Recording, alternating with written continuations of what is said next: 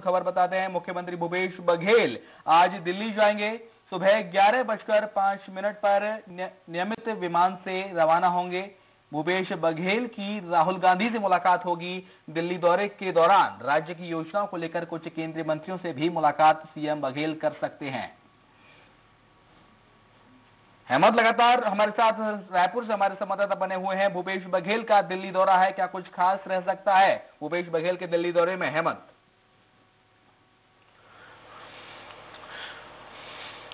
देखिए मुख्यमंत्री भूपेश बघेल का दिल्ली दौरा काफ़ी अहम होने वाला है हम्म। क्योंकि उनकी मुलाकात कांग्रेस के राष्ट्रीय अध्यक्ष राहुल गांधी से हो सकती है क्योंकि जो कार्यक्रम जारी हुआ है मुख्यमंत्री भूपेश बघेल का उस कार्यक्रम से कयास लगाए जा रहे हैं कि आज या कल मुख्यमंत्री भूपेश बघेल की राहुल गांधी से मुलाकात होगी, क्योंकि ग्यारह बज के पाँच मिनट में रायपुर से वो रवाना होंगे और जो कार्यक्रम उनका बना है, जो जनसंपर्क से जारी हुआ है, उसमें उनका ये दिया गया है कि दिल्ली पहुँचने के बाद वो छत्तीसगढ़ सदन जाएँगे और छत्तीसगढ़ सदन में रात्रि विश्राम करेंगे।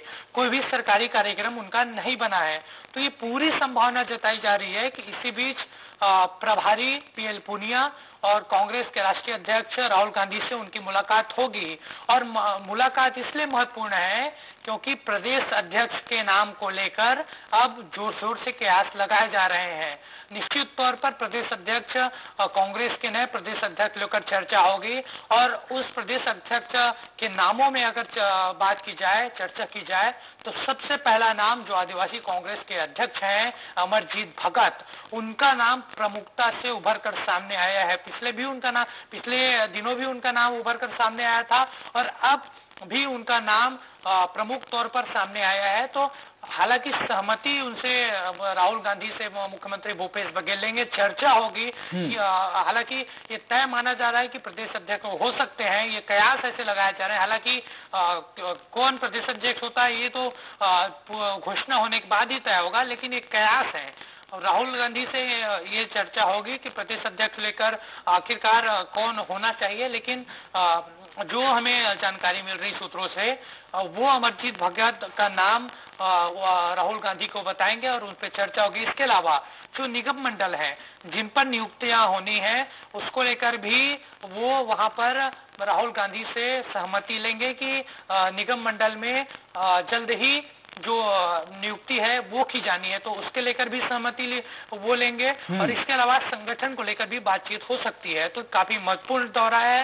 हालाँकि उन जाने का कार्यक्रम मुख्यमंत्री भूपेश बघेल का बना है लेकिन वापस दिल्ली से आने का कार्यक्रम उनका नहीं बना है। तो ये भी संभावना है कि कुछ योजनाओं को लेकर राज्य की योजनाओं को लेकर केंद्रीय मंत्री से उनकी मुलाकात भी हो सकती है। तो केंद्रीय मंत्रियों से उनकी मुलाकात हो सकती है, हेमंत। क्या भूपेश बघेल को उम्मीद है केंद्र से राज्य के लिए मदद मिलने की?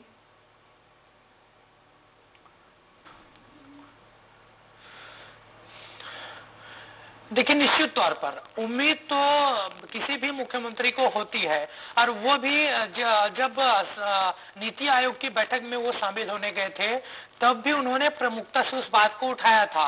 और जब मुख्य प्रधानमंत्री नरेंद्र मोदी से उनकी मुलाकात हुई थी, तब भी उन्होंने इस बात को ज़ोर शोर से उठाया था कि राज्य में पैसे की ज़रूरत है, आप सहयोग करिए।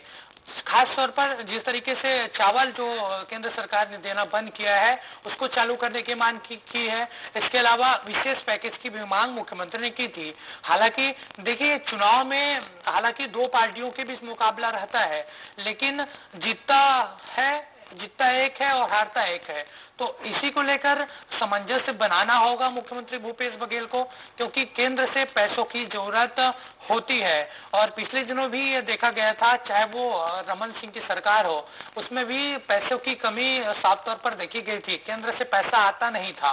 तो ये प्रमुखता से इस बात को ज़ोर मुख्यमंत्री भूपेश बघेल ने प्रधानमंत्री के साथ बैठक में दिया था। और उम्मीद भी है उनको कि मुलाकात के बाद कुछ न कुछ राहत केंद्र सरकार से मिलेगी। जो पैसा यहाँ पर आता है, जो फंड आता है केंद्र सरकार से, वो पर्याप्त तो तौर पर छत्तीसगढ़ को मिलता रहेगा। चलिए बहुत बहुत शुक्रिया हेमंत जानकारी के लिए। एक और बड़ी खबर आ रही है पृथ्वीपुर से। पृथ्वीपुर से आपको बड़ी खबर बता रहे हैं।